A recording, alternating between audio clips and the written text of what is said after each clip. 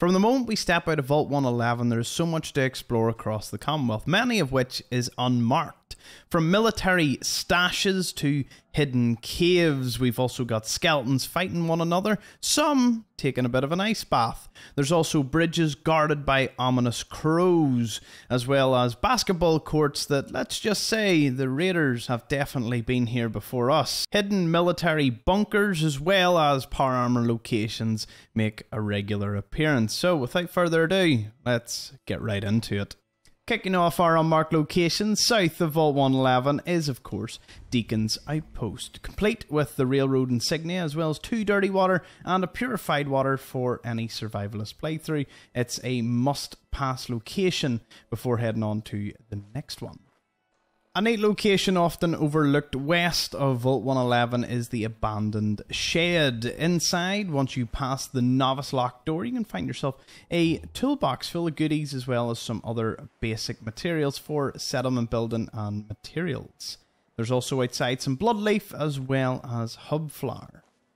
Another unmarked location southwest of Vault 111 is the medical tent. It's here. You can get yourself some early game supplies from first aid kit as well as a mattress, some silt beans, but do be careful of the glowing uh, rad roach that tends to be near these conveniently placed radioactive barrels.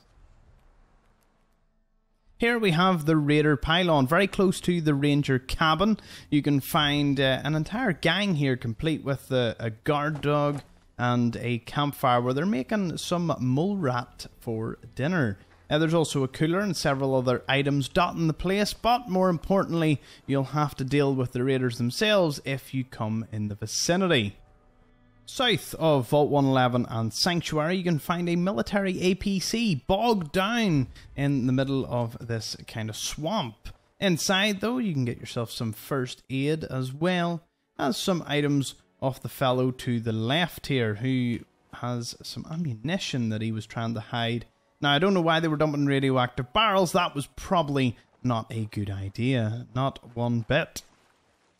Due west of the ranger cabin near a pond, you can find a wee bit of a hermit, another one, and this time they are a trader. Holding up with a little bit of a farm setup here, you can uh, trade some decent early game items with them and it is definitely worth your while visiting. And if you want to be a complete menace to society and you don't really care of the consequences, you could, of course, just go inside and raid quite a lot of the items that they have lying around. They didn't need them anyway. Venturing on from that trader and west of the ranger cabin, you can find an unmarked grave. Now, this grave does have a cigarette carton on top of it, a baseball cap, and a chem cooler with some Med-X in it. Now, I can probably deduce that he was either a friend of the trader that we were just at, or it was here long before the bombs fell. In any case, I'd imagine the person buried here, uh, maybe it was due to cigarettes, or that was their favourite thing. The baseball cap might have been one thing they always wore as well. And the Med-X, maybe they had a slow, painful way to go. It is assumptions, of course, but uh, ones that we must consider when stumbling across places like this in the wastes. Swooping down just west of the Wicked Shipping Fleet lockup, there is a Bloodbug stash. This uh, rather dangerous location, full of them, in fact, has uh, quite a few items for you to find. Along this back here, you can find a oh, if that broom will move, a first aid kit alongside some mentats in the bath. There's also some buff out and a toolbox for the taking. The only thing you have to do is deal with the local wildlife before going on to the next place. Between the settlement of Abernathy Farm and the Ranger cabin, you can find a little abandoned caravan. Inside, there is ammunition, a toolbox, a cooler, and first aid, as well as a wee mattress for all you survivalists that need to sleep. Outside, you can find some bobby pins, so this place really does have it all. A location ominously close to the Dry Creek Shack is uh, just south of Abernathy Farm here. And we can see that a few barrels and a build-up of just general ground sediment has blocked this pipe leading on into the lake, leaving a location ripe for bloatflies to leave some of their brood. Now, whilst we don't see them actually lay eggs, there is a toolbox of a novice lock beside this uh, maintenance fella. Perhaps he tried to uh, fix this, and uh, let's just say it didn't go too well for them. Next up, we have the Dry Creek Shack. A little shack overlooking the wicked shipping fleet lockup south of Abernathy Farm here. You can certainly rate it and see all the items you can get. There is a cooler, plenty of beer, booze, and cigarettes. Out the back, there's also a fridge that seems to be quite stocked. So I would say whoever was holding up here didn't go all that far. A notable location south of Abernathy Farm is this little campfire. It's here there are plenty of random encounters, and I can't tell you how many times, except when I need them to be here, have I found traders and uh, your grandpa that's traveling with uh, the wee the wee girl. There's just there's there's so much to find here, and uh, they decided not to show up today. But alas, we'll move on. East of Abernathy Farm, there's actually a little rocky outcrop, and here we have what I like to call the machete stash. You can find this fella with some dirty water, a stim pack, a suitcase full of raider gear, perhaps he was about to join or he was fleeing, and of course a very trusty machete. Not a bad we find early on, that's for sure. South of the Red Rocket truck stop, there is a little half buried stash very close to the Concord water tower. Now, no one knows exactly who put this here, but that does not matter. You do not need any lockpick skill, for this trunk is open and ready for the taking. And even on an early game playthrough, there is still quite a few good items before you venture on into Concord. A very ominous spot north of Abernathy Farm is a few irradiated thistles. Now, these things are very dangerous. Try not to go too close or have a wee sniff of them as they uh, they explode in a plume of radioactive dust. And uh, I know all of you are thinking, can I make soup from this thing? Eh, it's probably ill advised. And uh, yeah, I need to I need to stop trying to smell them. Ooh, ooh. A place I often forget about south of the Red Rocket truck stop is the Mole Rat Den. Now, this uh, particular Red Rocket was renowned for their Trash Busters award, in which they were disposing of a lot of waste very effectively. They were one of the best at doing it, simply because they dumped everything down here in this pit. Now, let's start from this wee room over to the right. First off, a fusion core, a 10mm pistol, and uh, actually some 10mm rounds. Trashbusters Award can be found right here. And uh, Mr. Benson, on behalf of the Boston Regional Office, I would like to congratulate you and your team on winning the 2076 Trashbusters Award for the greatest year to year waste reduction by a single store. Respect for the environment is an integral part of corporate image.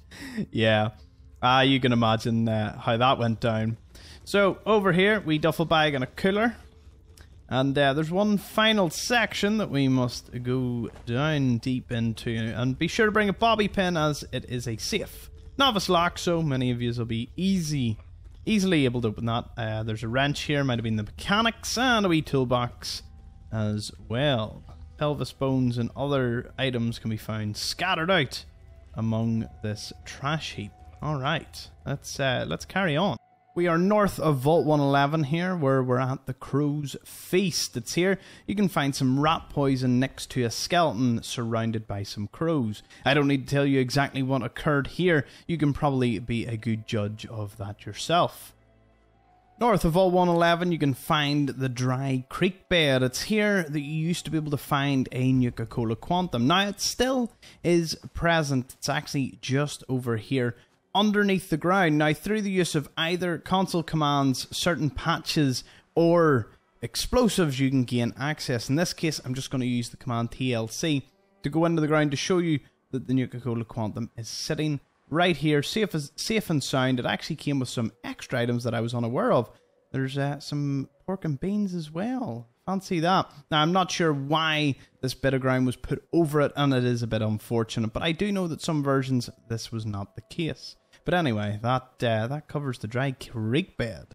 Due north of Sanctuary, you can find yourself the Raider's Shack. As the name suggests, you will find a raider and his dog, uh, alongside quite a lot of supplies a chem box, cooler, ammo box, and of course, the latest victim of the raider. Not a bad find in the early game at all. Top contender for one of the best unmarked locations is actually part of Sanctuary. It's here that you can find the hidden bunker or the root cellar. Inside, we can find ourselves three gold bars, plenty of food and items for our journey. Be sure to uh, always visit here before carrying on. You can see the gold bars up here, and there are two on the floor. One of mine has glitched. A reload, a reload would uh, fix that. Instamash and plenty of purified water, sugar bombs, and other food stuffs, as well as some first aid. That'll uh, that'll definitely help us on our journey through the Commonwealth. North of Sanctuary, you can find a Pulp Fiction reference with the uh, the dummy on the ground with the stim pack through it. Uh, the mattress, of course, is actually unusable for once, but a free stim pack is definitely not one thing to uh, shake your your head at. Now, uh, one thing I love about revisiting locations is that I can bring you that that is a reference. Um, I didn't know when I did the video uh, on its own, but now I do, so that's brilliant. Let's move on. West of the robotics disposal ground, you'll find an old firing range that's still in use, with a scavenger aiming to get their uh, their accuracy a little better. Alongside them, there's a toolbox, a weapon, and several other bits of equipment that you may find useful in your next run. Very close to the old firing range and the robotics disposal ground, you can find a little stash. Here, there is a toolbox as well as a cooler and some Mirelurk meat. So uh, yeah, quite the quite the adventurous person was stashing up some food here for good reason. Hopping over, we can go over to the sunken rowboat stash, which is next. A fan favourite just north of the Red Rocket truck stop, you can find the sunken rowboat stash. Now, to show you all exactly where it is, what I'm going to do is I'm actually going to toggle off the water system to give you a good idea as to where it is. It's right over there. There's actually another box over there that I didn't even know existed. So we're going to find two things today. Let's delve right into the water. Ah, there we go. It has all come back. And on the boat, there is a steamer trunk. It's novice lock, but it is full of really good gear. And since we are here, we may as well go over and see what's in this box. Ah, we can create full of items. The more you know. We are just northeast of the Red Rocket truck stop at the water filtration system. Now, this little stash, you'll have to go down to the lake first, open the circuit breaker, and simply flick the switch. What that will do is allow you to gain access to a very neat stash very early on in the game. Now, let's travel all the way up here. And this lid, which we could not previously open, we can now drop in three camp stashes. Alongside this, we can get some items off this little fellow here. And a wee suitcase full of stuff. If you jump on top, there's even more items. RadAway, Rad-X, and Purified Water are uh, some of the other things you can find here. A brilliant starting stash. Just overlooking the Red Rocket truck stop, you can find a little overlook. This complete with a chair, an ammo box, and a toolbox. Pretty handy we find to know of early on in any playthrough. Um, just to get yourself some decent items from here. We'll be moving on to find ourselves some raiders and their wee hideout. Between the Red Rocket truck stop and the robotics disposal ground, there are quite a lot of raiders, especially at this massive tree where we can find a little bit of a camp, complete with a wee guard dog, a few mattresses, and ah, oh, Teddy. Ah, I didn't even know they could do that. I'm learning so much in this.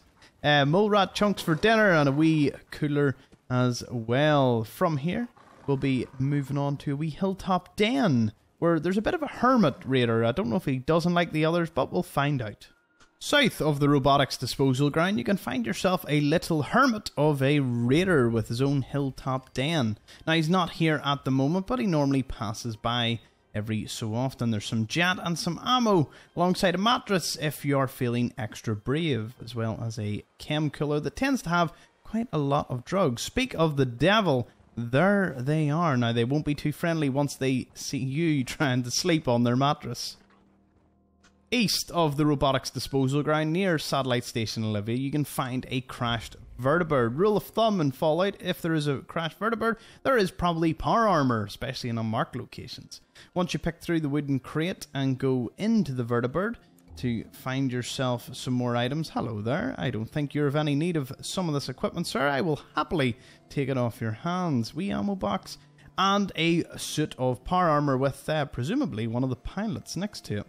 Now, this does range in your uh, your level when you enter this cell, so a lot of players leave it till way later on in hopes of grabbing some sweet, sweet higher level power armor.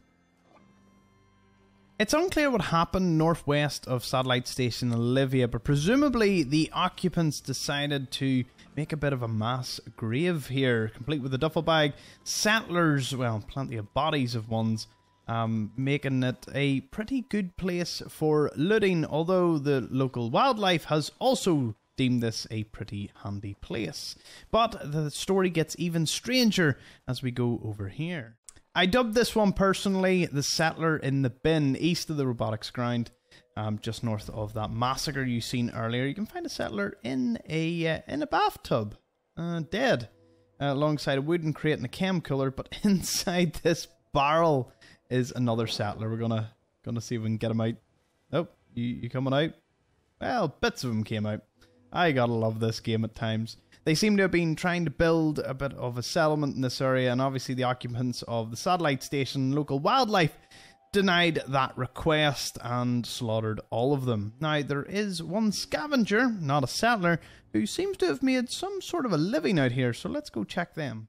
North of Satellite Station Olivia, you can find another hermit, this time a scavenger, who has made a living uh, by uh, simply having a good view and some booze. Can't really fault them, especially in the nuclear wasteland here. There's uh, a wooden crate with some items as well as some of the best moonshine around. Call it an unmarked location or call it just part of Satellite Station Olivia. Either way, I feel you all need to see this.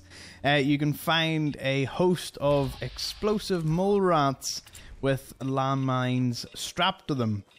Sorry, just the one. The one poor fellow who got landmines stuck to him. Uh, obviously, you know, if you shoot them, uh, that happens, as you would imagine. But be sure to raid the refrigerator before heading on towards the junkyard. Northeast of Satellite Station Olivia, you can find quite a quite a sad scene. It's clearly a woman in a dress with a lantern and a collapsed tree. Now, obviously, as the bombs fail, this whole place was pretty much eradicated. And I would say that uh, this unfortunate person may have got hit or flattened by the tree. Now, it's just a theory, but definitely somewhere worth checking out. There's also a bathtub stash nearby that I'm going to go find. If there's one thing about these locations, at least they were thorough. East of Satellite Station Olivia, you can find a lonely bathtub inside a toolbox. If you're out in the area, you may as well get yourself some items. I know some hardcore players need to know every location like myself, so I'm happy to please. Between Satellite Station Olivia and Ten Pines Bluff, you can find a rather massive junkyard. Inside, there's many dogs, but even better than that, there is an exploded safe full of caps. And if we move on over to some of the other vehicles, we can find just bits and bobs lying about. Let's see at the back of this truck. Oh ho ho! We have a wooden crate. Fancy that. Oh, on top of the fridge, a, a rum bottle. That'll do. Let's see if we can find anything else just whilst we're here. Oh, a first aid kit at the back of the van. That'll do. Yeah, there are uh, quite a few scatterings of items about here. Now, once you have went through all of the vehicles, be sure to go up to the top to the overlook and we'll find even more.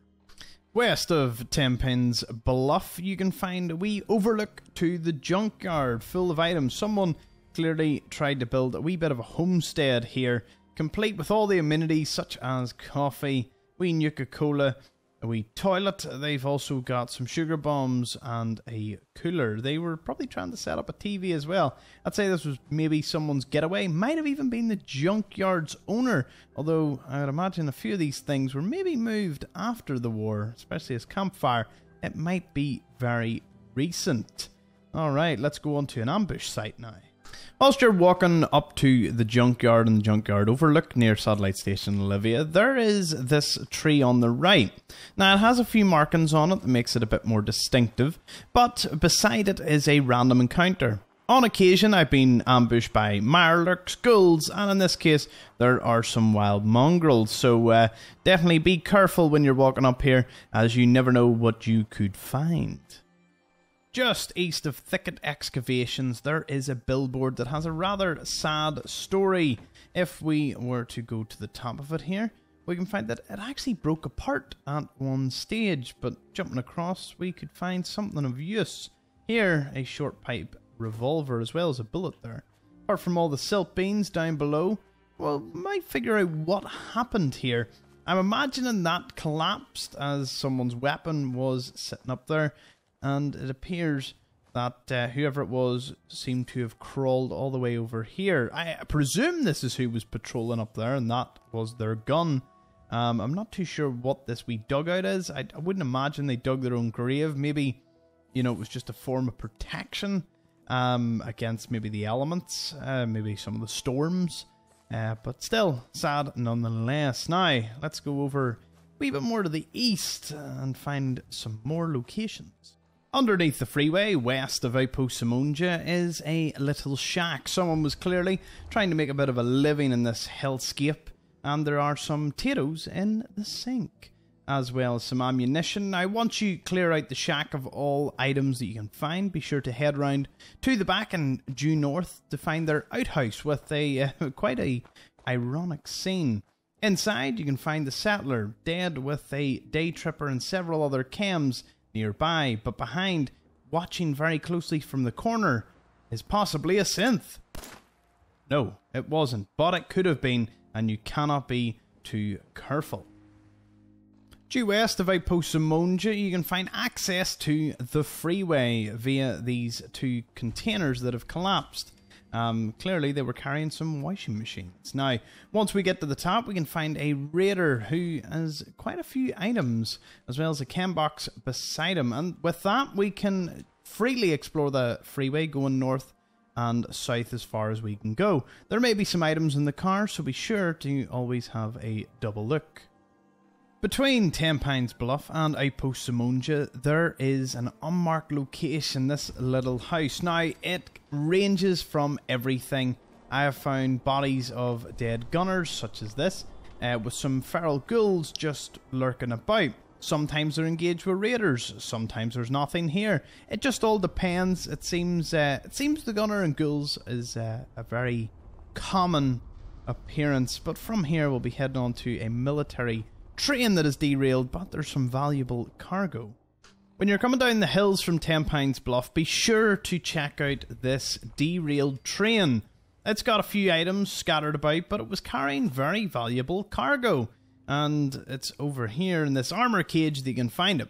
So it has a power armor suit. As you know, the drill, there is a wee red wire going all the way into this blue carriage connected to an advanced lock terminal. If you're fortunate enough to be able to get this early on, it's a good place to find some power armor without too much engagement. There may be ghouls or gunners in the area, uh, but there's ghouls and gunners in nearly every area in this game. From here, we'll be heading on to the bridge. This proved a really popular unmarked location just southeast of Ten Pines Bluff. You can find the Crows Bridge. Now, I dubbed it that because the crows seem to always find their way back to the bridge. So we've kind of scared them away. Let's just sit back. And they eventually just return. Bit ominous. Not too sure why, but maybe it's because they always know there's a, a bit of bit of death down below on these train tracks as there are quite a lot of raiders, ghouls and other nasties going up and down here. But still a cool piece of environmental storytelling for sure. I dubbed this one south of Ten Pines Bluff Ten Pines Relief. Now, it's a bit of environmental storytelling as opposed to an actual location, and one could argue it is actually just part of Ten Pines Bluff. But this sign, when you're along the uh, the railway line, has uh, some items away and dirty water. Now, in a lot of my playthroughs, I was totally unaware of this. But going to each of the signs, you will find more and more items. A stim pack, you know, even hub flowers, plenty of uh, flora to to harvest, and as you continue all the way up, well, of course, you will reach Ten Pines Bluff. How did I stray from the path? Ah, there they are. Yeah, so you just keep following the signs and you keep finding items. Well, two items. But if you're in the area and you weren't aware of that, maybe you only fast travel in and out from Ten Pines, it is something to definitely note. Uh, pretty cool, and um, something I just wanted to share in this series. And now we'll be heading on to find a few more stashes. Standing proud over the hills of Concord are these three residential houses. I imagine this would have been a more out of the way, secluded place. Now, unfortunately, they are all boarded up and inaccessible, but at the rear, we can find ourselves some wild mutfruit just uh, around the place and a Brahmin alongside a dead raider. Now, he's always dead, so it's a good source of some starting gear, as well as some ammunition, radroach meat, and a combat knife. Now, there are a few more buildings in Concord that we're going to have a wee look at. As you enter the town of Concord from the Red Rocket truck stop, be sure to stop by this little open house, for you see, early on you'll be able to open the safe as it's only a novice lock. The suitcase normally has a bobby pin on it, so you can try your luck if you're in the area.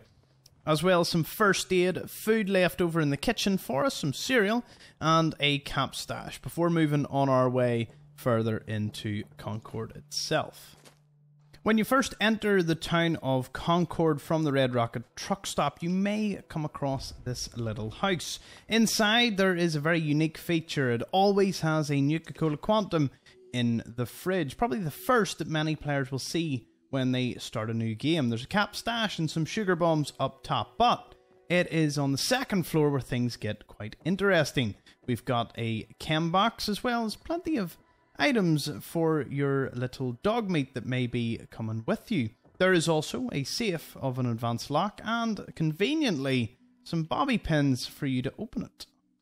Continuing on into the town of Concord itself, we can find quite a lot of unmarked locations. This is the Walden Drugstore. You can see the sign weathered by many years in the uh, post apocalyptic world.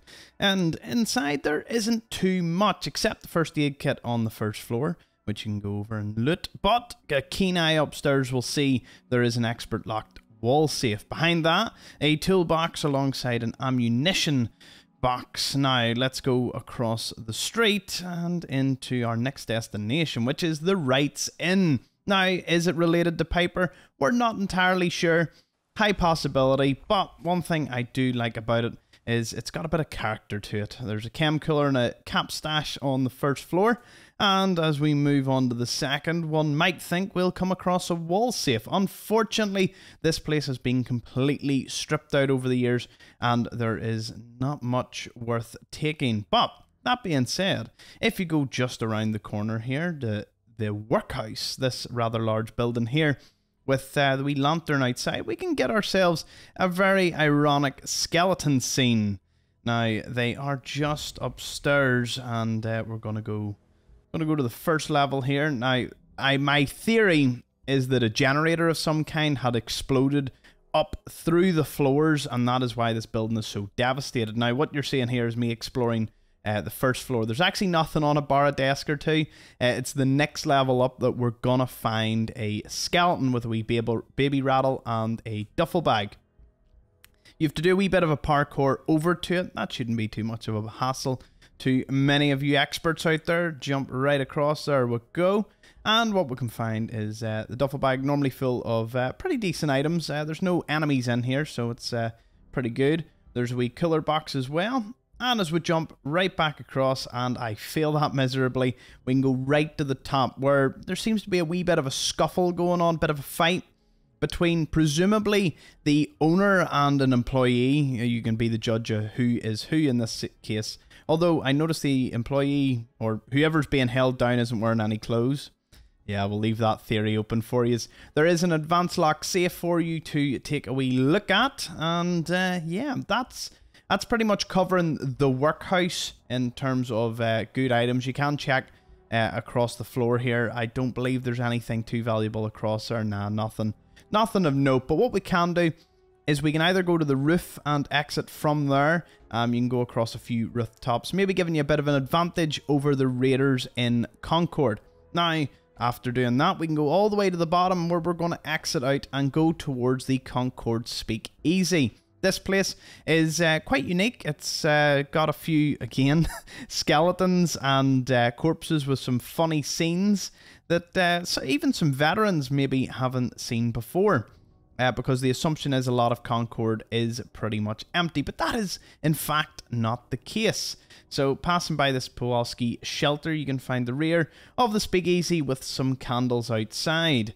Now you can enter from the other, but there are quite a number of raiders, so I'm showing you kind of the easier route, especially if you just want to nip in, get some items, and move on quite quickly place is pretty devastated, but there is an advanced lock safe, several beer bottles sitting about, and uh, downstairs where you can find a lot of toolboxes and equipment for your settlement building, economy wonder glue, and uh, another toolbox in the corner.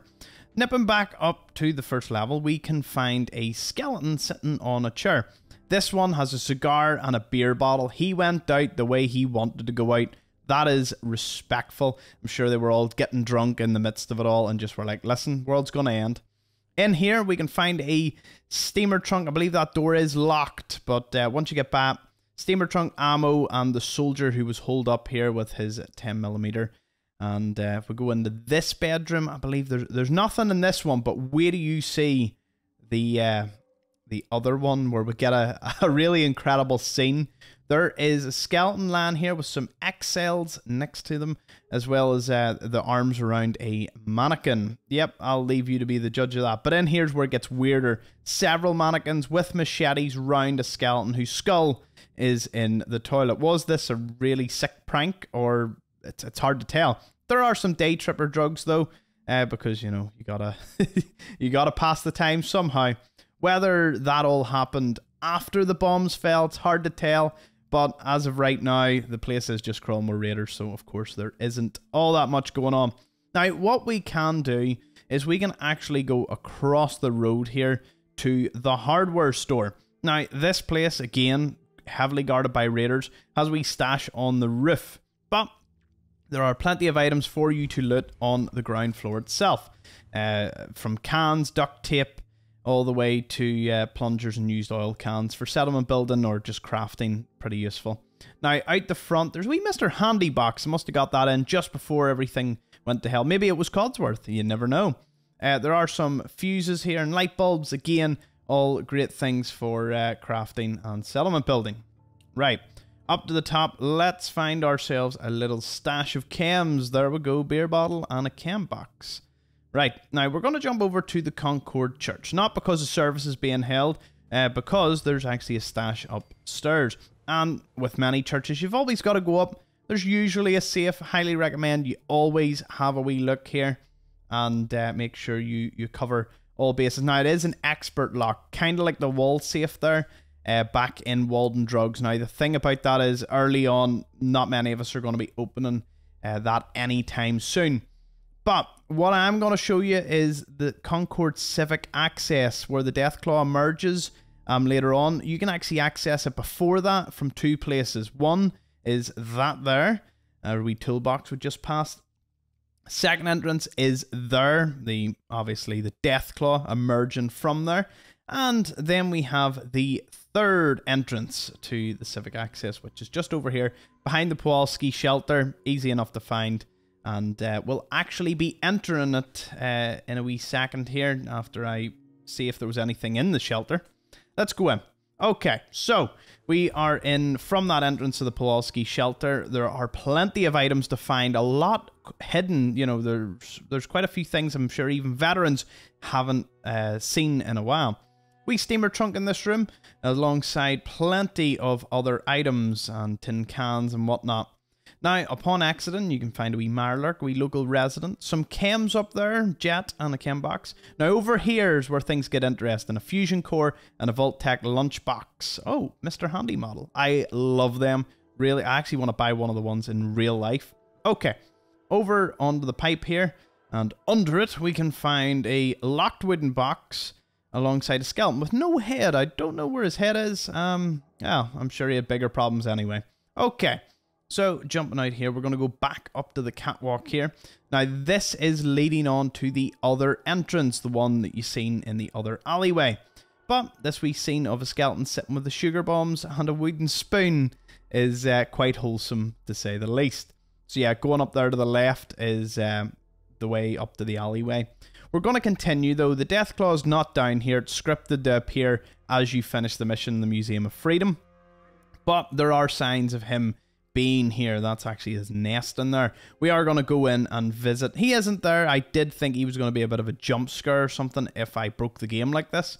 But upon going in that direction, we must go into this wee room to the right here, as I just remember, and uh, explore everything. There's first aid, there's a Vault-Tec lunchbox. Ooh, Dandy Boy apples A few skeletons that got uh, buried, and behind the door, a wee hidden toolbox, easy to miss.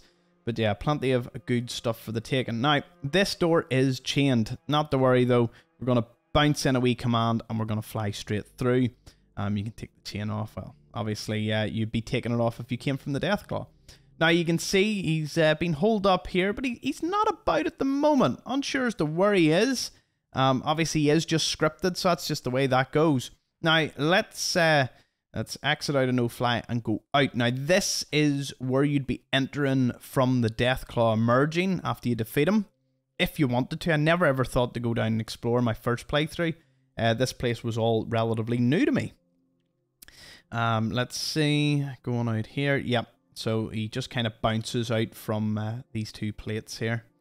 Uh, Cool wee location. I did originally think the sewers were kind of like New Vegas where they'd be a maze, but that one quite easy to navigate and a lot of fantastic items for the taking. So let's uh, let's move on then. A building suggested to me by a subscriber north of the Museum of Freedom. I nearly missed this one. So when you're on your way to Thicket or Bedford, always stop by as there is a very valuable raider upstairs and you don't have to fight him. There's a cam box as well as food in the fridge, bobby pins, and sugar bombs. Be sure to grab the bobby pins, we're about to need them. Up here you can find a raider dead. Now he's always dead by default, so easy first weapons for you. Uh, rifle beside him, cap stash, and as I mentioned about the bobby pins, there's a safe, but this one's a novice lock, so for beginners it is uh, should be easy enough for you. Before moving on to the next place. Just east of the Museum of Freedom, there is the Concord Campfire. Now, this location is rife with random encounters. It's actually quite quiet for me at the moment. But if you go over to the edge here, what you will always find is several settlers, uh, a wooden crate, and a wee cooler for the taking. But there's also a first aid kit that sometimes when you approach you mightn't see straight off. Now, let's go get a wee shopping cart of goodies. Also, due east of the Museum of Freedom is the shopping cart of goodies. This here is a Nuka Cola Cherry, Nuka Cola, and plenty of other food items. If you're doing a survival playthrough, this is a perfect spot to drop by. Directly north of the Starlight Drive In, south of Thicket, you can find yourself a little Radroach outhouse. And as the name would suggest, there are indeed some rad roaches that will appear once you approach this location. But for your efforts, you will get a first aid kit as well as several other items before moving on. Due west of Bedford Station is the cooking spot, another location rife with random encounters. A little trip down memory lane, my first ever encounter playing Fallout 4, I came across this place. There was many ghouls that proceeded to completely wipe me out. In this case, there is just a settler sitting cooking a nice meal. Hopefully, we can get some supper before we go on to our next location. On your travels to Bedford Station, you may come across this little trailer where someone was clearly homesteading in the middle of the forest. On top, an actual trailer bed.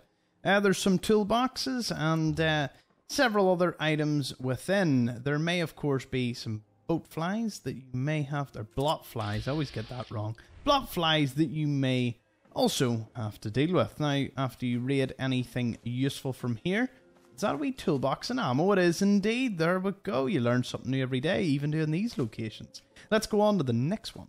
On to another location, this one just south of Thicket Excavations. This is what I dub the half a bus, because there's only half a bus.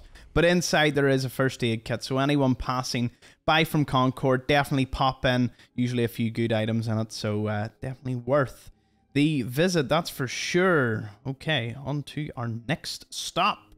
Not too far away, beside the Museum of Freedom, you can find a collapsed shed with a wee toolbox for the taken. There appears to be some bones, so I would imagine the shed might have actually collapsed around this poor fellow. Uh, it's just an assumption. Maybe it was before the bombs fell. Huh, maybe it might have been after. Shoddy construction work. Alright, so this is quite a unique location. This is just north of the Drumlin Diner near the Museum of Freedom. It's a blown open safe with some ammo boxes, and as we all know, ammo is a very valuable commodity in Fallout 4, bathtub not included. And uh, yeah, I always stop by here in any run just to get some nice ammo. Um, it does respawn, so a uh, good place to have if you're in the area. I take it from the toilet and the tires and the bathtub, someone was maybe trying to set up shop here. You'll never know. Okay, so there's a fresh camp between the Gorski cabin and the Drumlin diner. This, I believe, belongs to the, the crew that are currently at the diner harassing uh, that lady over here. But whilst they're there, we can take all the stuff from their toolbox and they have some bourbon and buff out just the, the general thug uh, amount of items. Now, from here, we have uh, quite a quick and easy journey. That is towards the Drumlin Diner. But if we go left here towards this billboard, ah, there's a trader. Not usually we see a, a trader about here. Who's this one? Ah, none other than Trashcan Carla. Hello. Right. So onto the billboard, we're going to climb this tree to get up to the stash. Now, whoever left it here is no longer defending it, so uh, I, I, love all the hops. I made that seem difficult. Right, there's some first aid, a wee ammo box, as well as a mattress you could sleep on, and a wee cooler at the end. Decent wee items early on, not many enemies about. Good place to start. All right. On to this one beside the Drumlin Diner. This is, in fact, the Drumlin Ponds. Uh, has a few items scattered about, namely this uh, little toolbox that hides behind the diner. Now, once you get all the items from that and the wee empty box beside it, we can go over and it's probably one of the, the tiniest stashes I've seen in a long time. It's a few cans of aluminum or aluminium and some RadAway uh, against some of these barrels. I did think there was something in the barrels, but as for this pond, I'm going to drain the water away just to show you what's happening. Something's going on with that bathtub over here, so we're going to investigate taking it away again. This guy appears to have uh, either died in the tub or was attached to a tire and sunk to the bottom. Although I think rubber floats, so I'm not too sure what happened there, but theories are welcome in the comments. All right, now let's see. On to our next one, south of the Drumlin Diner. This is in fact the uh, vending machine car transport. Now, there is a wee Port-A-Diner. So come on, give us a wee bit of luck for this hour long video special. No, no, there isn't. Right, onto the Nuka Cola machine. Uh, can we hit it any? Oh my goodness! Yes, the things you love to see: two cherries, Nuka Cola Quantum, and uh, a normal Nuka Cola. I, you can't be bad to that. Ice cooler has a plastic bowl in it. Hey, I'll take it. Port-A-Diner still useless, but oh, there's a wee vending machine actually up behind the Nuka Cola machine. I, I wonder is that all the time? I must I must do a wee play test. I, I don't actually know. I don't know if it was luck or whether it was uh, just handiness. Now, over here is the Walden Military Pillbox. Now, again, between Walden Pond, of course, and the Drumlin Diner. We can venture on inside. We eyebot chilling about. But if you can crack the novice terminal here, you can get into the back to get a wee. I think it's an explosives box, or might not be. But there's a wee giddy up uh, horse in there as well as the soldier who was unfortunately locked in here wee ammo box for your troubles, and there might be a Mr. Gutsy about, um, or Mr. Uh, Mr. Handy. I can't can't remember. I think I let him out. But anyway, we can uh, we can move on after patriotically looking at the flag. Okay, this is south of the Walden Pond. It is the settler tent. Now, a lot of you were telling me that uh, you actually found the settler here. Might be a random encounter for me, and several times I've been here, they're not here. But it is a place to at least keep in mind when you're in the area in case you can run into them and uh, see if they're of any use to you. It's it's a strange thing that it's not in my game, but look, these things happen. And uh, the next la the next place we'll be going on to is a chem laboratory, so that should be uh, quite interesting. Between Walden Pond and the Gorski cabin, you can find the Raider Chem Lab. Now, the Raiders here are rather bored and they're not actually cooking at the moment. What they are doing is taking pot shots at that poor settler slash mannequin attached to that tree. We'll have a wee look at that in a second. Be sure to get all the items out of their wooden crate before going down, and you can make use of their chemistry lab. You just have to take care of the two raiders first before you can do that. Now, let's go over to the horrific sight that is this. They apparently were tying up and shooting settlers and mannequins whilst, uh, oh, they're trying to take shots at me at the moment. See, these are the cool little environmental things that you don't see um, unless you've got a scope or you're being very sneaky. Uh, but a really cool interaction from the Raiders, certainly. Right. We're actually east of Walden Pond, possibly one of my favourite locations in the game. This is the Cat Fanatic. He has many cats, many photos of cats, and he's a decent trader early on in the game. Now, these little kitties, but you can't pet them or anything. But what we can do is we can go inside cat bulls. We've got more cat bulls, more cats locker. He doesn't actually have too many, you know, things in the way of items around the place. He's more so just useful as a trader. Um, I'm sure there's some evil people come along, kill all the cats and the trader. But um, yeah, oh, there's a bit of bones in the kennel. Wonder what happened there. Now there is an awfully sad scene to the right here. There's graves. Now I didn't do it when I did this video, so this is never before seen on the channel in terms of a video. He had cat graves. Because they're definitely too big to be, you know, a person. That's so sad. You get an A plus for that. That's ah, oh, that's some seriously heart twinging things. Right. So there's a gunner camp here um, that we're going to head over to. So go north of the uh, Rocky Narrows Park. Uh, it's very close to uh, Walden Pond. There's three locations here, but I'm going to wrap them all up into just one go over. So, first things first is the bus ramp leading up from the south side. Defended by a turret and several uh, gunners. There is an explosive crate at this side that you can uh, you can indulge in, and I highly recommend you do. Right, running on the main camp itself is actually pretty sparse. There is obviously the massive windmill, so you'd think this was some, you know, maybe a foundation for a much bigger settlement. But the main items in here, are a few foot lockers at the end of the bus, turret on top, and uh, you can walk all the way along um, if you want, but uh, there isn't too much in the way of items on this section. Now, running across this bit, there's a really interesting interaction that can happen here. Uh, there is some wooden boards I'm going to show you here to the right that are broke. A lot of the times one of the gunners will walk over it, it will snap and they will fall to their death. You will too if you decide to walk over them. Always use the ones on the right. Um, and you will be safe. So yeah, many a times he's he's land dead, so it cuts one gunner out of the equation. Um, I I think the gunners have actually respawned in this one for me. Uh, so that's why there isn't a body at the bottom. Now this is heavily defended, three gunners and a wooden crate. Unfortunately, this one isn't full of any uh, valuable explosives, but still, it's uh, worth taking out to get some equipment. Normally, they're fighting ghouls or another random encounter in this area, so it's a it's a pretty neat place to know. Um, but that covers pretty much all the gunner encampments on this part of the freeway. There'll be plenty more of those in the future. Right. Okay, so we're much further westward near Wicked Shipping Fleet Lockup, uh, just near the lake.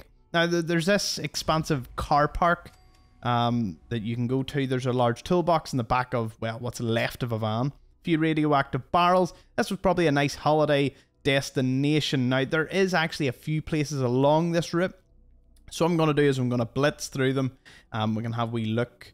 Uh, run along here, you might find we scraps here and there, plenty of, you know, bloodleaf, plenty of other items just just scattered. Uh, but first up, we have the uh, the Raiders perch. It's normally again another random encounter where a gang of raiders tend to set up right here at this house.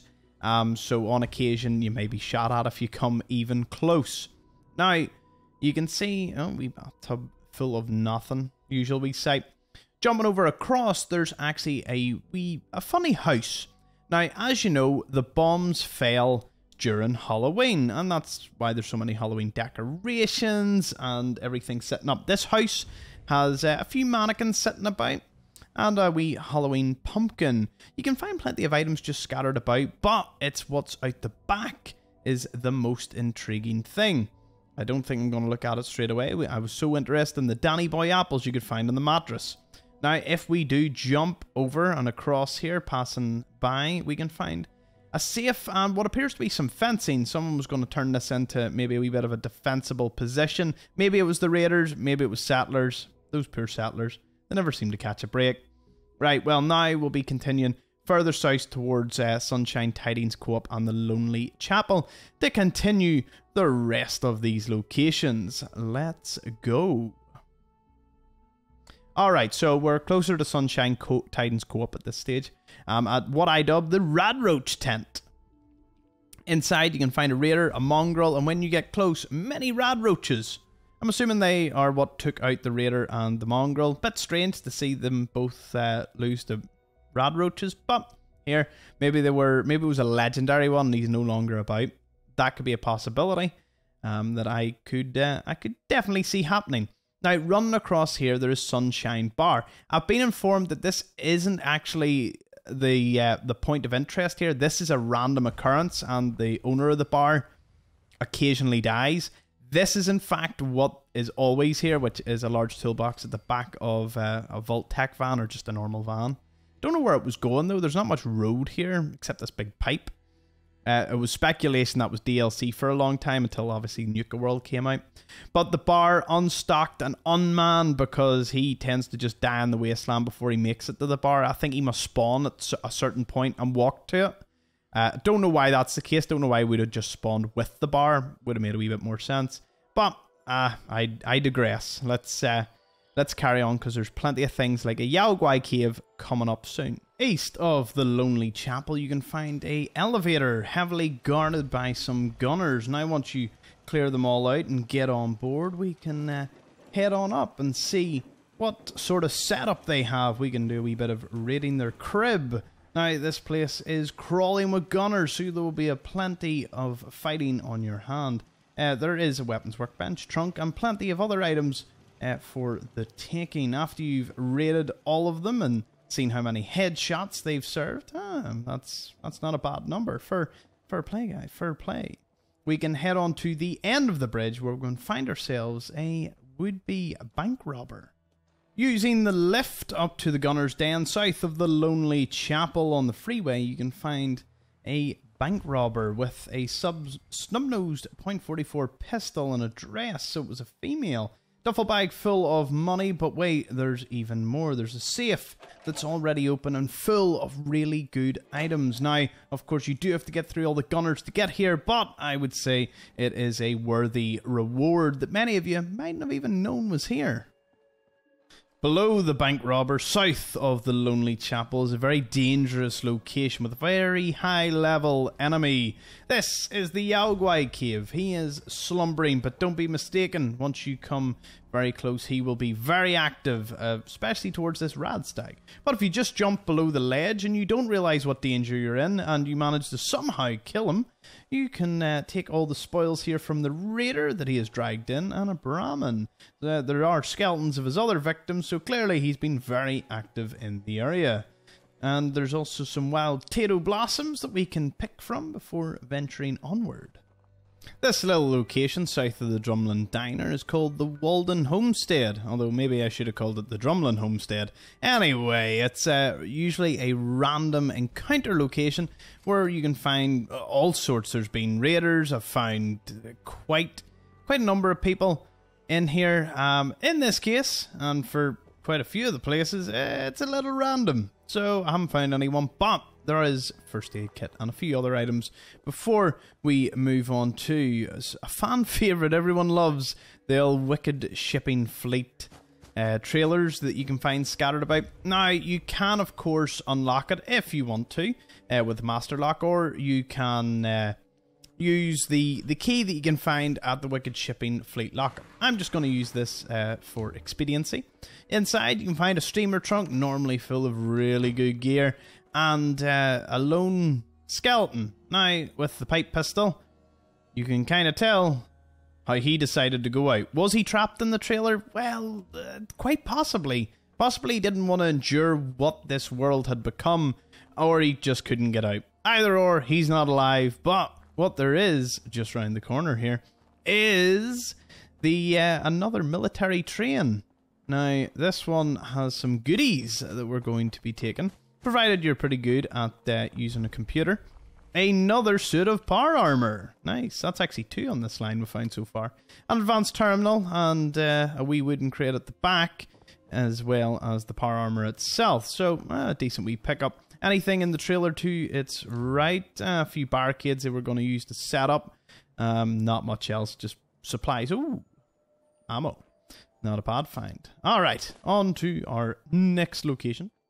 A somewhat hidden sewer entrance west of the Super Duper Mart. You can find the switchboard entrance. Now, once you get inside, you'll be greeted by a wee open door into the sewer.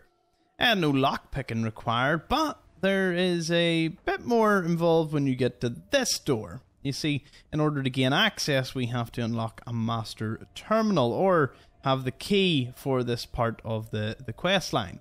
Um, there is a quest involved in this uh, that makes it easier, or if you come across it beforehand, master lock is the only way.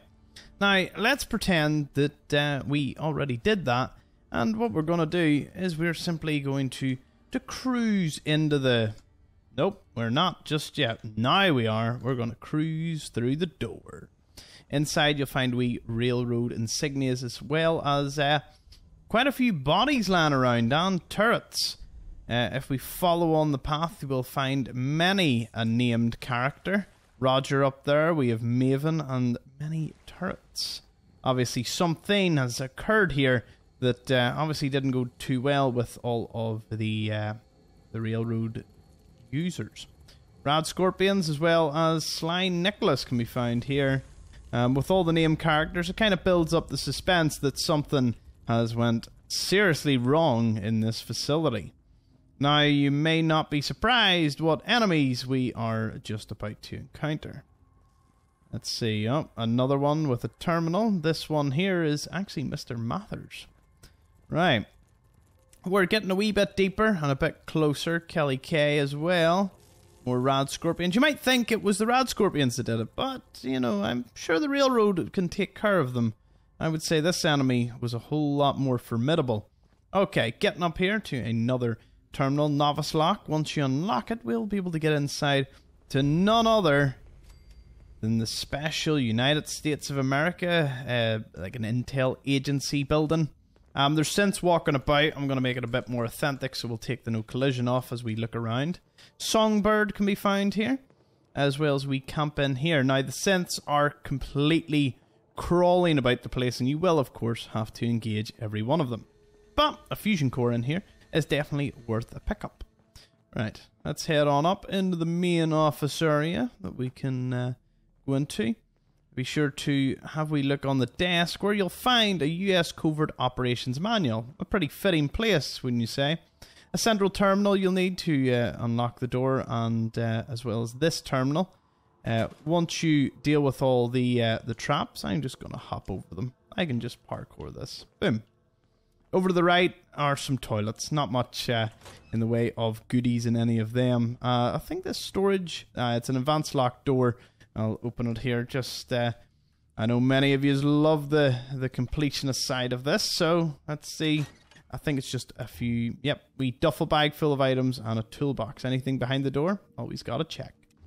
Right, on to the left section where things certainly get more interesting. More synths to deal with, and uh, several items carting about the place. Bobby pins, not not a bad pickup. Right. Oh, he just decided to push me out of the way. All right. Carrying on.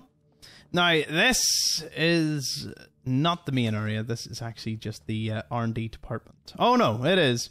Where they're trying to unlock this security door. Now, again, the terminal's inaccessible. I really shouldn't be here as we are not doing the quest line. But there's bottlecap mines, uh, gas mask, hazmat suits, wee weapons workbench, as well as a steamer trunk and plenty of other gear. I actually think the synth is he he's the synth leader, so he's the one you really got to deal with. But let's just say we went on into the terminal. Oh, if we click off that and uh, go into the place anyway, we can find Tommy Whisper sitting over here. He normally carries a, a good few items. Uh, there's also a wee quest item in here as well. I wonder did I pick it up? Well, you can also pick up a mini nuke and some stealth boys and the Carrington's prototype, which is main thing we were looking for. Right, excellent back out into the main part. There's a few more rooms that we can discover before we come up to our final location, dropping us actually in the center of uh, Lexington, if you can believe it. Uh, you can unlock some of the doors here.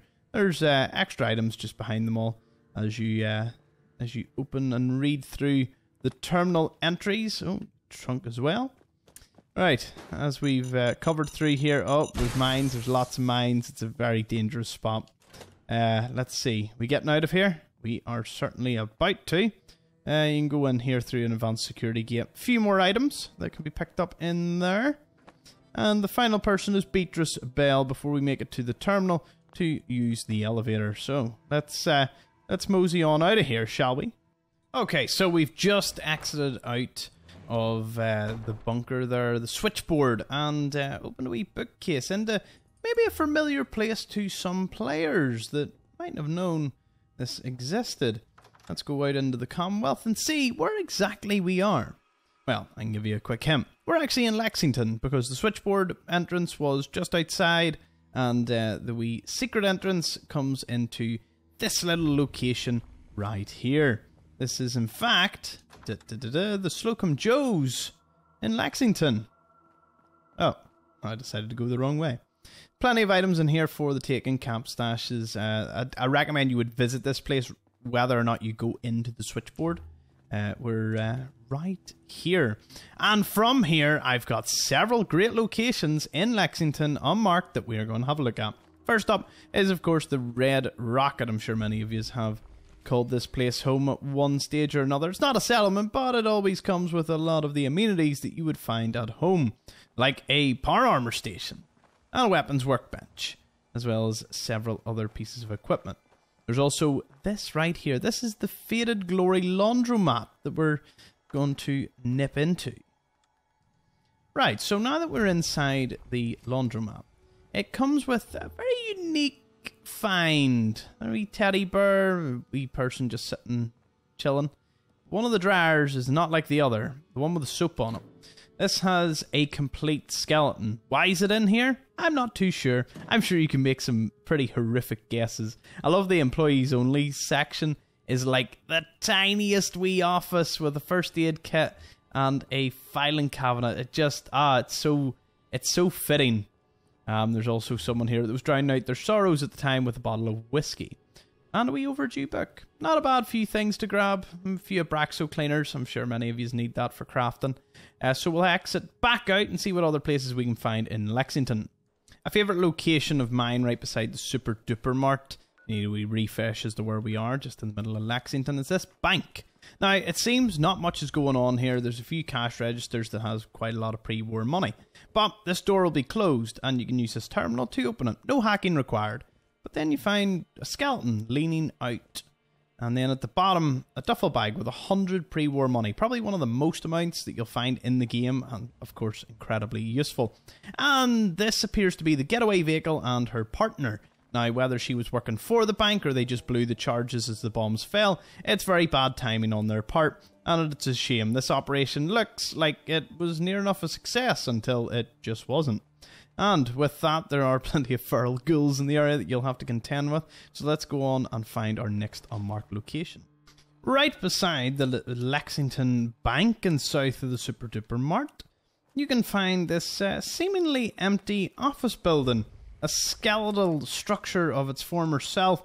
Everything kind of scattered everywhere. Now you can check most of the floors and you won't find all that much, even if you go to the top. But what if I told you, barring the armor workbench, there is actually something that really should catch your eye? It was actually on the bottom level. I didn't forget, I just wanted to show you the rest of the building. Because I have never seen this terminal before. And I've been through here many a time. Many, many times. But it unlocks this. Now, it's an advanced lock terminal. I'd already opened it. But there's an advanced lock safe and some pre-war money. Now, will this be one similar to the likes of the uh, the bank robbery, or is it just a normal safe? It's just a normal one. Still plenty of pre-war money to be found. Uh, be sure to pick that up alongside the ammunition uh, the dead raider behind here who must be making last stand, and some first aid.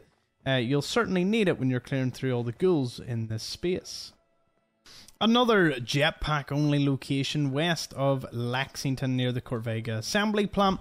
Possibly a, an employee from there, because there's plenty of steel here. Steel, rubber, dirty water, and some food.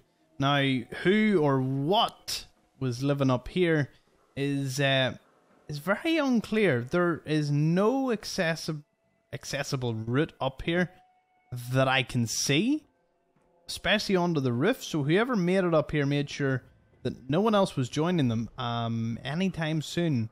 Don't see a ladder, don't see anything, which is actually quite spectacular. But given that, it's still a really interesting stash that I'd never seen before. So I wanted to include it. Right, what more can Lexington offer us? Hardware stores are a great source of useful tools, especially this one in Lexington, similar to its Concord. Oh, hello. Concord uh, equivalent. We can find some uh, Raiders items, toolboxes, and of course, ghouls. Now, it's not all that large, and there's a wee trike out the back, uh, but it's still definitely worth stopping by. As the door, yep, you can even open the door. Don't know why you'd need to. You the giant open hole in the side of the place seems to seems to be everything you need. Uh, but do be careful with the large ghoul population. Right, time to go up to this catwalk. As you know, the ghouls and raiders vie for control in Lexington. This rather large building in the middle, uh, best toured via a fly command here. Uh, I can show you all the different entrances. So, first up on its uh, northern side, you can access yeah, the stairwell, which will bring you up to this level here, where you'll find several ghouls uh, chilling about. Now, as you continue up the stairwell to the next level, you'll find ghouls and raiders, obviously fighting uh, about with one another. There's a duffel bag, normally full of decent items, as well as a cooler on this. Chem box also included, um, as well as this raider here. Now, to zoom out to give you a bigger picture uh, where this truck has collapsed with the turret, there is uh, another way to access this place uh, through the back alleyway. This is actually just behind the hardware store um, that we were looking at, and uh, you can access it that way. But yes, plenty, uh, plenty of things going on uh, within this building. If you go to the upper levels, there isn't too much in terms of items, but on the middle, you can find at the rear a chemistry station. Okay, so that's that building cleared. Let's uh, let's move on. Another relocation in Lexington is the Liqueurs store. Now, there's nothing on the first floor. It's been completely devastated. That means we have to uh, parkour our way up to the second level. Requires a few jumps to get right. Once you're up here, you can find a few balls of vodka and an office desk alongside a cooler and a Vault-Tec lunchbox. These two colleagues uh, presumably uh, decided that uh, some vodka would help take away the, uh, you know, the searing pain of the uh, atomic war that just took place. Eh, suppose it's one way to go about it. But uh, yeah, there's plenty of other things like this in Lexington, so let's continue. Often in Fallout, you get somber sights. This one, south of Lexington, north of the Corvega assembly plant, is no exception. A little, probably a brand new family who uh, welcomed their little ones into the world. You can see by the cut in the room, as well as a wee basketball, Nuka Cola toy truck, and a tricycle. That uh, you know, it's it's just a very very somber scene. You know, of amidst empty milk bottles. You know, it they've got all the right items about here. And with the beer bottles, perhaps the parent was a was maybe a, you know a heavy drinker. One of them, if there was more than one. Um, there's just there's so many beer bottles alongside, you know, empty milk bottles and toys. It's it's one of those when you really take it in, you know, it's painting maybe a bit of a, a sadder side, especially deep within, you know, the sort of hustle and bustle of this city and massive lumen structures and this was just happening down in a quiet wee corner. Uh, yeah, one of them marked ones that really, really make you think. Right, Let's go engage some raiders, shall we? Deeper into Lexington, closer to the apartment buildings, you can find a little pharmacy. Now, the sign for it's actually on the roof, but usually you don't actually see that. But the drugs here is a good sign that this place is ripe for pillaging. Now, my thoughts on it is this is pretty much what it was pre war. I would have preferred the door to be locked because then that would have made more sense once you got in. Uh, there's some first aid and there are plenty of meds scattered about. This guy's actually hugging a bottle of Rad-X, for example. This guy on the, uh, must have been his wheelchair there, he's got a walking cane and a stim pack above him. Now, if we go behind, see if we can get any better loot here got a medical nitrogen dispenser, pretty good for crafting, Boston Bugle, and this one over here is holding Med-X, ah. as well as Jet and cigarettes, because you gotta have cigarettes in a pharmacy. It just makes sense. Right. So what I'm going to do is I'm actually just going to go round the corner to the next unmarked location within Lexington. Now, this is the bus station. Wow, it's actually taking a wee bit longer to load than usual. Good thing my commentary pulls through. Right, Straight round the corner here, you can find the bus station on your right.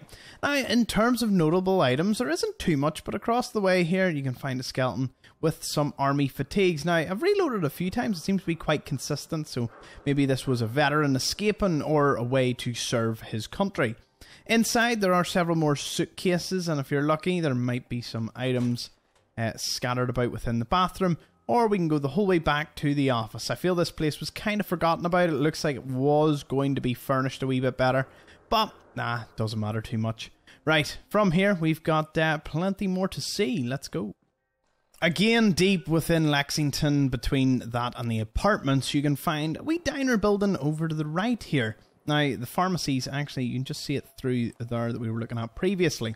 In here, there's Dead Ghoul Reaver and a Raider with some ammunition. There's also just some items about, as well as the cash register that hopefully for you will have some money. Now, this is where things get really interesting. This is one of the best Pulowski shelters you'll ever find because this soldier is currently clutching a mini nuke. Bit, uh, bit of a strange place to be clutching it. Um, I see the three people around him. Maybe he was trying to, you know, do like a you know, like a Captain America jumping on the mini nuke and put himself in here to try and protect them. Uh, possibly, although it looks like everyone was trying to get in, so I'm even more confused as to why he has the mini nuke. Going just round the corner, though, you can find the ghouls having a bit of a pool party. Now, for many of you, you probably don't know that the ghouls and raiders actually live here pretty much side by side. Nah, I'm just kidding. The AI's off. They they are ignoring each other uh, for us there. There's loads of wild tar berry. I'm actually going to remove the water. I've never never looked in this pool to see anything worthwhile. Uh, the answer is no, but there's a deck chair. Always got to be a deck chair just through into the pool. And that pretty much covers a lot of the interior of Lexington. Now, we are going to actually nip more to the outskirts where we'll find uh, some more intriguing places. I thought I'd seen everything in Lexington until I came across this. Now, this uh, seemingly abandoned basketball court has a bit of a darker twist to it, as uh, there appears to be a settler who has uh, just been left here to uh, to his own devices for some reason. Um, yeah, it's amazing some of the things that you just pass and you never quite notice. Must be been the Raiders Right, well, speaking of which, they're actually just round the bend here. In the heart of Lexington, north of the apartments, you can find this uh, ominous looking catwalk. It seems like a fur bit of a journey. If you want to find this place, uh, the basketball court they'll be hitting up next is right here. Now, I'm going to climb all of these and I'll show you what's at the top. Okay, so we've made it all the way to the top. Now, you will be ambushed by a raider uh, once you get up here, but when you look into the sink, yeah, you know, you know exactly what's happening here. With a bone saw present, uh, we've got a weapons workstation, and uh, of course the raider. There he is, bouncing out of his room, where uh, he gets up to all sorts of shenanigans. There's someone hiding under the bed. He's got bedside table heads. He's got drugs because I don't think a sane person could really do what he is doing. He's probably responsible for what happened in the basketball court. Speaking of which, uh, let's go over and have a look at that. This is without a doubt one of the most out of reach suitcases in the entire game. If you don't have a jetpack, you're not getting anywhere near this. East, in the heart of Lexington, it's uh, on top of, uh, right beside the Raider penthouse. But there's no easy or convenient way to get to this. You would have to quite literally just jetpack over to get to this level where you can find a uh, a couple that went out together on one of their one of the high rises in the city with a wee suitcase beside it. it normally has a rather random assortment of items within the suitcase. I never knew this place existed, so uh, yeah, that definitely gets a plus one for me on uh, complete element of surprise. Uh, but the basketball court, I can assure you, also holds something similar. Let's go. The Raiders here, just west of Mystic Pines, as you enter Lexington, are just ready to ambush you. Now, this is one of their much, uh, much more fortified positions. Uh, you can tell by all the wee cans that you can chime. Now, once you chime them, uh, you will alert an awful lot of raiders to your presence. They are heavily armed. They have many turrets, and uh, quite frankly, one thing on their mind, and that is dispatching of you. Now, with these three buildings, you can parkour up to this one. You can open a wee expert lock safe, provided you deal with uh, the owners that uh, are not about to let you just come up here and take their property. You know, it's probably taken a long time for them to gather all those uh, all those items within the safe. Now, uh, this spans three buildings, and uh, there's really only two ways up. That way I showed you, and a wee catwalk at the back. This raider up here is just living her best life, barbecue, cooking station, and a chem box. Really, what more does a raider need? Right beside the Starlight Drive-In and south of Bedford Station, you can find a little survivalist stash that someone has left here. Besides the suitcase, you can get yourself some sugar bombs, cram, pork and beans, Nuka-Cola for your troubles. Now, uh, whoever brought them here is clearly gone, and obviously for anyone doing especially a survival run or any run, you know, nipping by here just to grab some equipment is definitely worthwhile. Before this, we uh, we're gonna head on here to the real car hideout. Another uh, quite a cool wee unmarked location right over here. Can I squeeze through? I can indeed. There is a novice lock door now. I have one bobby pin and a dream. And the to all of you, I don't need to use commands all the time. Alright, jumping inside, we've got a wooden crate, a poor fellow who was just kind of sleeping on the train, and a cooler with a melon in it. Eh, pretty decent. Right, now this is uh, definitely one of the more amusing sights that one comes across in the Commonwealth. Here is a guy in a bath with a colander, a jet, and uh, what I'm imagining is he kind of filled up the ice bath using the fridge somehow. Um, I'm sure there's some interaction there that uh, someone who knows more about fridges could explain. And he's got some Dandy Boy apples. Wonder if there's anything underneath them.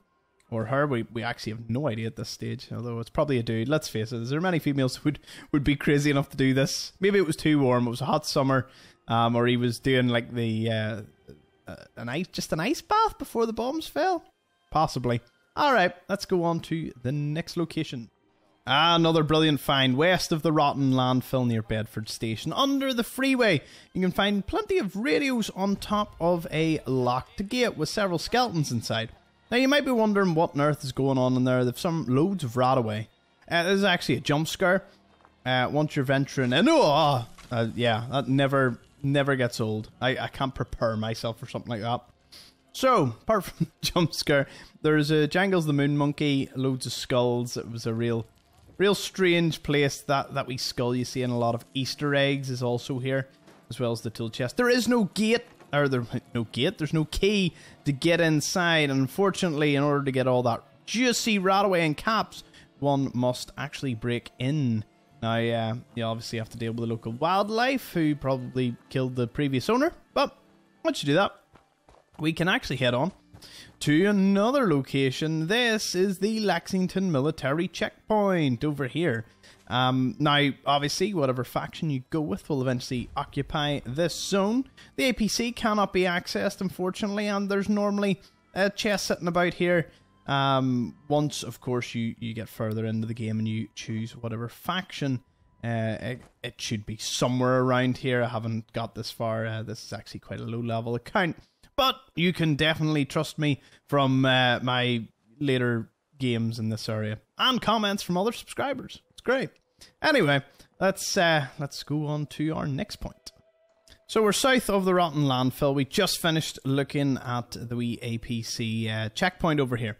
Now, this location right here is actually the access point onto the freeway towards Lexington. Now, I feel that everyone needs to know where this is, as it gives you a great vantage point all the way to where uh, the freeway goes off in every direction. So, uh, certainly a useful place to know. And if you venture on further onto it, there's actually a wee bit of a camp over here to the left as well. Um, sugar bombs, we've got toolbox, and a wee mattress that you can rest your head before venturing on. There is a very key point later on up here. In fact, what we will do is we will uh, we will just keep marching on till uh, till we get to the end here.